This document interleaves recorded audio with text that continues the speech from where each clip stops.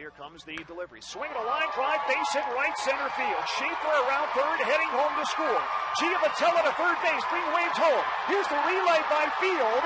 The throw home, the play at the plate gets away from Casali, and Giavotella scores the winning run.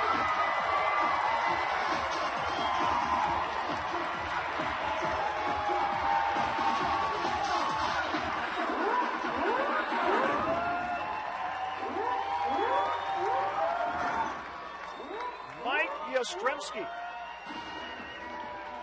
with a two RBI base hit into the gap in right center field.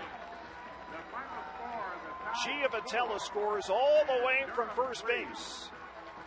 As Fields relay to Hager, whose throw home looked like it was going to be a close play at the plate, but Casali could not handle the one hop throw.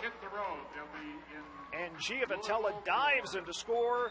The Tide scored two in the bottom of the 12th inning and win it in dramatic fashion this afternoon, four to three,